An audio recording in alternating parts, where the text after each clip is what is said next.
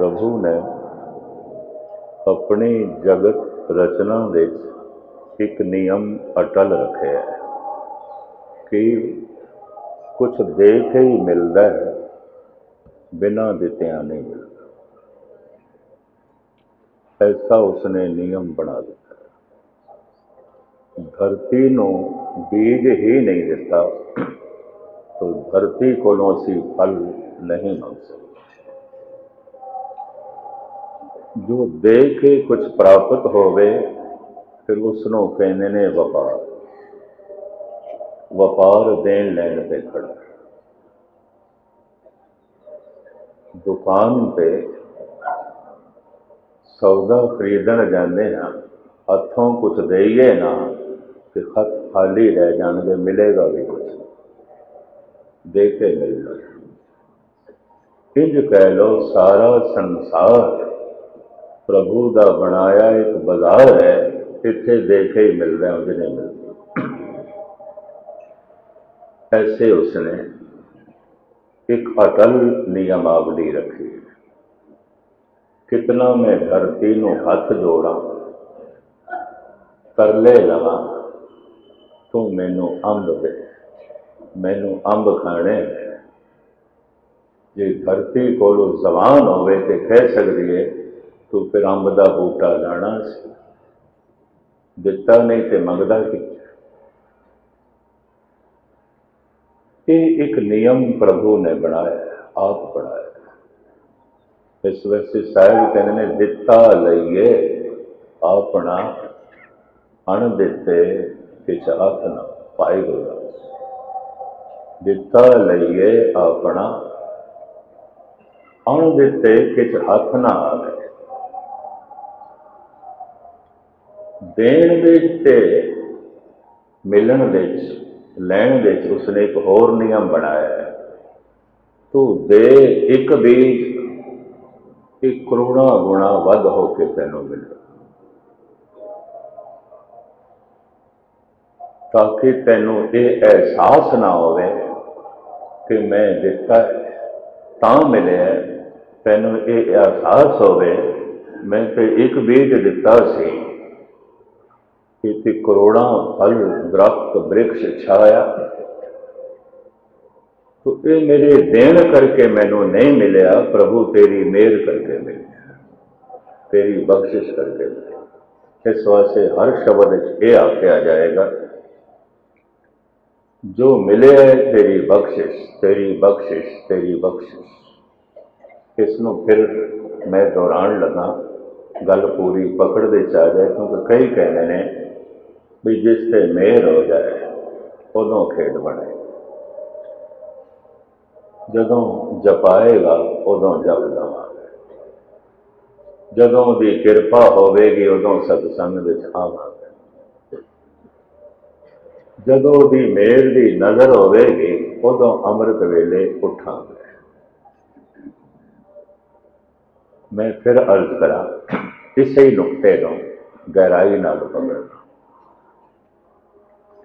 ਪ੍ਰਭੂ ਨੇ ਇੱਕ ਨਿਯਮ ਬਣਾਇਆ ਹੈ ਦੇ ਕੇ ਹੀ ਮਿਲੇਗਾ ਉਂਝ ਨਹੀਂ ਮਿਲਦਾ ਨਹੀਂ ਦਿੱਤਾ ਲਈਏ ਆਪਣਾ ਅਣ ਦਿੱਤੇ ਕਿਛ ਹੱਥ ਨਾ ਦੇ ਕੇ ਹੀ ਮਿਲਦਾ ਹੈ ਸਮੋ ਬ੍ਰਹਮੰਡ ਵਾਪਾਰ ਹੈ ਵਪਾਰ ਚੱਲ ਰਿਹਾ ਹੈ ਇੱਕ ਪਰਮਾਤਮਾ ਵਪਾਰੀ ਨਹੀਂ ਹੈ। ਇਹ ਵੀ ਮੈਂ ਤੁਹਾਡੇ ਸਾਹਮਣੇ ਰੱਖਾਂਗਾ। ਵਪਾਰ ਉਸਨੇ ਕਰਨਾ ਹੁੰਦਾ ਜਿਹਨੇ ਕੁਝ ਕਮਾਈ ਕਰਨੀ ਹੈ, ਕੁਝ ਪ੍ਰਾਪਤ ਹੋਵੇ। ਤੇ ਵਪਾਰ ਵਿੱਚ ਐਸਾ ਹੁੰਦਾ ਹੈ ਥੋੜਾ ਦੇਈਏ ਤੇ ਬਹੁਤਾ ਮਿਲ ਜਾਏ ਬਹੁਤਾ ਪ੍ਰਾਪਤ ਹੋ ਜਾਏ।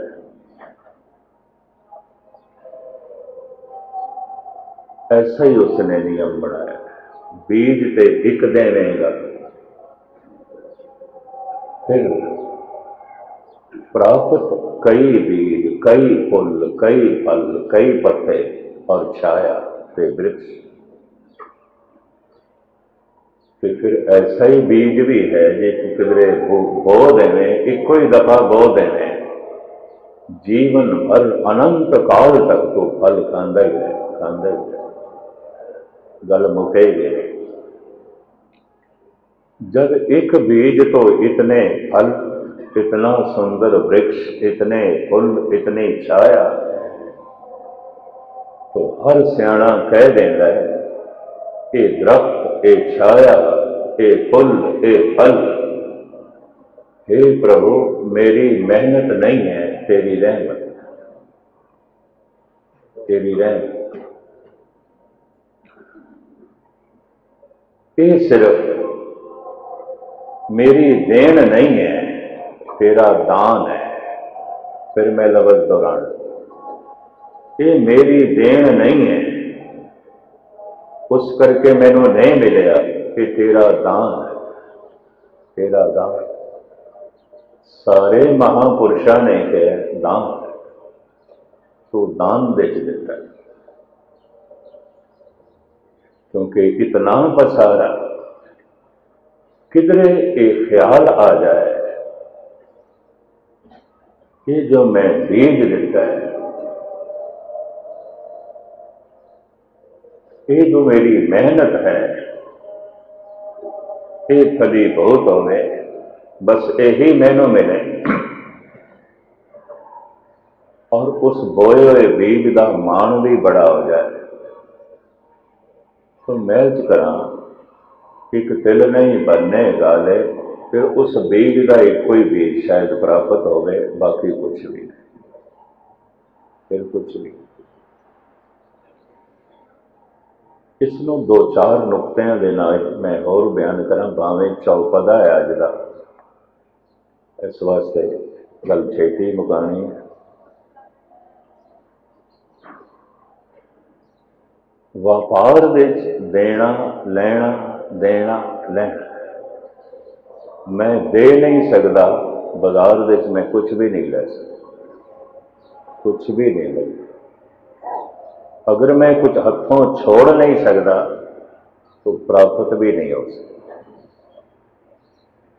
ਸਿੰਧ ਦੇ ਵਿੱਚ ਭਗਤ ਕੰਵਰ ਰਾਮ ਕਰਕੇ ਹੋਏ ਨੇ, ਜ਼ਰੂਰ ਸੁਣਿਆ ਹੋਵੇਗਾ, ਤੁਸੀਂ ਉਹਨਾਂ ਦਾ ਨਾਮ ਇਹ ਨਿਰਤ ਕਰਕੇ ਗੁਰਬਾਣੀ ਦਾ ਕੀਰਤਨ ਕਰਦੇ ਸਨ। ਹੱਥ ਦੇ ਚ ਉਹਨਾਂ ਦੇ ਖੰਜਰੀ ਆਉਂਦੀ ਸੀ, ਵਜਾਉਂਦੇ ਸਨ ਤੇ ਸ਼ਬਦ ਪੜ੍ਹਦੇ ਸਨ। ਸੰਤ ਕੰਵਰ ਰਾਮ ਦੇ ਨਾਮ ਤੇ ਸਿੰਧੀ ਸਮਾਜ ਨੇ ਜੈਪੁਰ, ਇੰਦੌਰ, ਬੰਬੇ ਉਲਾਸ ਨਗਰ ਸੰਤ ਕੰਵਰ ਰਾਮ ਕਲੋਨੀ, ਸੰਤ ਕੰਵਰ ਰਾਮ ਨਗਰ, ਬਹੁਤੇ ਬਣੇ। ਬਹੁਤ ਸਾਰੀ ਸਿੰਧੀ ਸੰਗਤ ਨੂੰ ਉਹਨਾਂ ਨੇ ਸ਼ਬਦ ਨੂੰ ਰਸ ਵਿੱਚ ਗਾ ਗਾ ਕੇ ਧੰਨ ਗੁਰੂ ਗ੍ਰੰਥ ਸਾਹਿਬ ਨਾਲ ਜੋੜੇ। ਥੋੜੀ ਥੋੜੀ ਵਿਆਖਿਆ ਵੀ ਕਰਦੇ ਸਨ। ਥੋੜੀ ਕਰਦੇ ਸਨ ਥੋੜਾ ਹੀ ਬੋਲਦੇ ਸਨ। ਮੈਂ ਤੇ ਇਸ ਨਿੱਕੀ ਜਿਹੇ ਬੱਚੇ ਨੂੰ ਦੇਖ ਕੇ ਹੈਰਾਨ ਹੋਇਆ, ਇਤਨਾ ਤੁਹਾਨੂੰ ਜ਼ਬਾਨੀ ਸੁਣਾ ਗਈ। ਕਿ ਚਾਰ ਬੱਚੀਆਂ ਨੇ ਪੰਜਵਾਂ ਲੜਕਾ ਹੈ। ਜਦ ਸ਼ੁਰੂ ਸ਼ੁਰੂ ਇਹ ਮੇਰੇ ਕੋਲ ਆਏ ਨਾ, ਬੰਬਈ ਦੇ ਵਿੱਚ। ਉਦੋਂ ਬੰਬਈ ਦੀਆਂ ਸਿੰਘ ਸਭਾਵਾਂ ਨੇ ਇਹਨਾਂ ਨੂੰ ਟਾਈਮ ਨਹੀਂ ਦਿੱਤਾ ਸੀ। ਫਿਰ ਇਹ ਮੇਰੇ ਕੋਲ ਆਏ।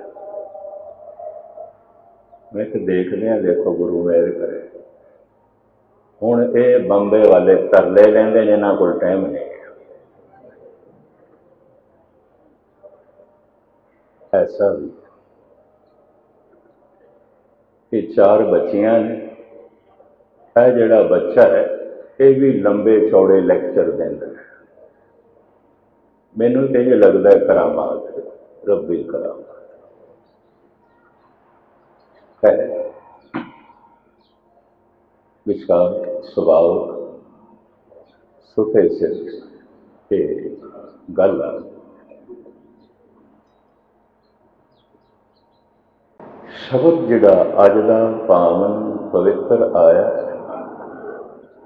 ਮੁੱਖ ਭਾਵ ਹੈ।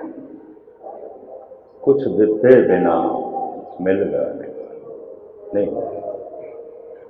ਨਹੀਂ ਨਹੀਂ ਕਿਧਰੇ ਵੀ ਮੈਂ ਜਾਵਾਂ, ਖਾਲੀ ਹੱਥ ਨਾਲ ਕੁਝ ਨਹੀਂ ਮਿਲਦਾ। ਤੋ ਸੰਤ ਕਵਰ ਰਾਮ ਤਿਆਗ ਤੇ ਬੋਲ ਰਹੇ ਸਨ ਥੋੜਾ ਥੋੜਾ ਵਿਆਖਿਆ ਕਰਦੇ ਸਨ। ਉਸ ਦਿਨ ਉਹਨਾਂ ਨੇ ਵਿਆਖਿਆ ਕੀਤੀ। ਤਿਆਗ ਦੀ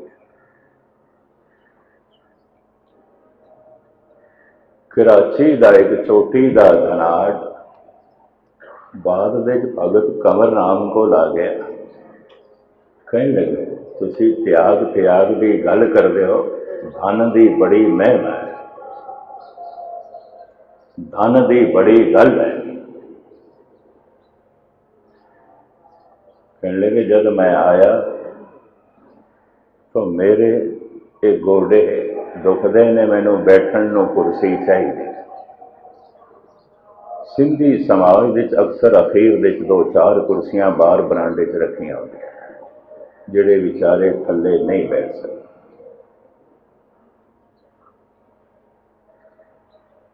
ਉਹ ਧਨਾੜ ਕਹਿਣ ਲੱਗਾ ਚਾਰ ਬੰਦੇ ਕੁਰਸੀਆਂ ਤੇ ਬਾਹਰ ਬੈਠੇ ਸਨ ਬਰਾਂਡੇ 'ਚ। ਹੁਣ ਮੈਂ ਵੀ ਥੱਲੇ ਹੀ ਨਹੀਂ ਬੈਠ ਸਕਦਾ, ਬੈਠ ਗਿਆ, ਫਿਰ ਮੈਂ ਉੱਠ ਨਹੀਂ ਸਕਦਾ।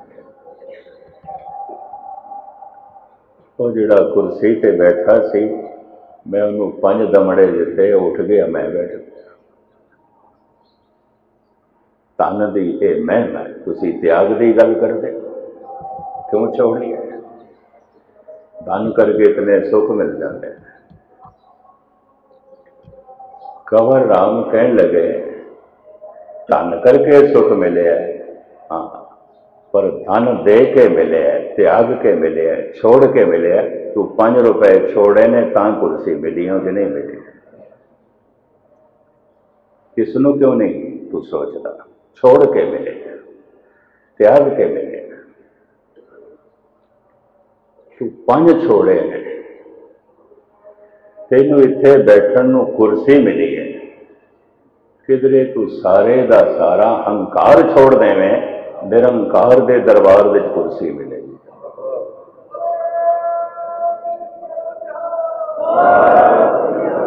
ਦੇਖੇ ਹੀ ਮਿਲਦਾ ਹੈ ਉਂਝ ਨਹੀਂ ਦਿੱਤਾ ਲਈਏ ਆਪਣਾ, ਅਣ ਦਿੱਤੇ ਕਿਛ ਹੱਥ ਨਾ ਦੇਖੇ ਮਿਲਦਾ ਪਰ ਦੇਣ ਨਾਲ ਮੈਂ ਆਪਣੇ ਤਿਆਗ ਦਾ ਹੰਕਾਰ ਜੋੜ ਦਿਆਂ ਤਾਂ ਸ਼ਾਇਦ ਇੱਥੇ ਵੀ ਕੁਰਸੀ ਨਾ ਮਿਲੇ, ਅੱਗੇ ਦੀ ਤੇ ਗੱਲ ਛੱਡ। ਭਾਈ ਸਾਹਿਬ, ਭਾਈ ਨੰਦ ਲਾਲ ਇੱਕ ਨੁਕਤਾ ਪੇਸ਼ ਕਰਦੇ ਨੇ, ਜਿਸ ਦਾ ਜਵਾਬ ਧੰਨ ਗੁਰੂ ਗੋਬਿੰਦ ਸਿੰਘ ਜੀ ਮਹਾਰਾਜ ਦਿੰਦੇ ਨੇ ਔਰ ਉਸ ਵਿੱਚ ਗੱਲ ਸਪਸ਼ਟ ਹੋ ਜਾਂਦੀ ਹੈ। ਮੈਂ ਅਜੇ ਦਿੱਤਾ ਨਹੀਂ ਤੇ ਮੈਂ ਐਲਾਨ ਕਰਾਂ ਮੈਂ ਇਹ ਦੇਣਾ। ਮੈਂ ਇਹ ਦੇਣਾ। ਮੇਰਾ ਇਹ ਐਲਾਨ ਦੱਸਦਾ ਹੈ ਇਹਦੇ ਬਦਲੇ 'ਚ ਮੈਨੂੰ ਮਿਲਣਾ ਜ਼ਰੂਰ ਚਾਹੀਦਾ। ਜ਼ਰੂਰ। ਕਿਉਂਕਿ ਮੈਂ ਐਲਾਨ ਜੋ ਕਰ ਰਿਹਾ, ਮੈਂ ਇਹ ਦੇ ਰਿਹਾ। ਮੈਂ ਇਹ ਦੇ ਰਿਹਾ। ਅਕਸਰ ਜੋ ਦਿਲੋਂ ਦਿੰਦੇ ਨੇ, ਉਹ ਐਲਾਨ ਨਹੀਂ ਕਰਦੇ। ਫੁੱਲ ਮਹਿਕ ਵੰਡ ਰਹੇ ਨੇ, ਖਾਮੋਸ਼ੀ ਨਾਲ। ਕਹਿੰਦੇ ਜਿਹੜੇ ਬੱਦਲ ਗਰਜਦੇ ਨੇ, ਬਰਸਦੇ ਹੀ ਖਾਮੋਸ਼ ਕੋਈ ਬਰਸਦੇ ਨੇ। ਬੜਾ ਚੁੱਪ ਚੁਪੀਤਾ ਸੂਰਜ ਇਤਨੀ ਰੋਸ਼ਨੀ ਦੇਈ ਜਾ ਰਹੀ ਇਤਨਾ ਪ੍ਰਕਾਸ਼ ਦੇਈ ਜਾ ਰਹੀ ਕੋਈ ਸ਼ੋਰ ਸ਼ਰਾਬਾ ਨਹੀਂ। ਕੋਈ ਰੋਲਾ ਰੱਪਾ ਨਹੀਂ ਖਾਂਦਾ